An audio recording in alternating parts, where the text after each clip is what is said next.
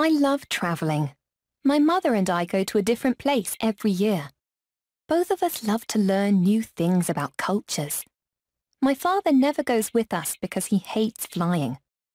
My older sister is in college, so she stays home and studies while we're away. Sometimes I wish my sister and my father would travel with us, because I miss them.